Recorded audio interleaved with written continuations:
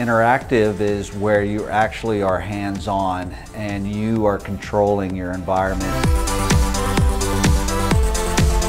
Pufferfish is a super cool technology. It allows for interaction and we took it a step further and let the interaction actually show up on the main screen of a show.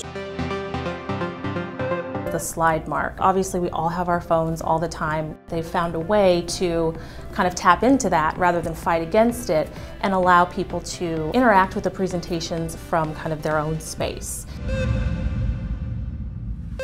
What's really cool about the LED rectangle is at the end of the day, it's standalone. The lights, the video, and all the audio are all launched from that interactive button. There's really no operator needed once it's set up.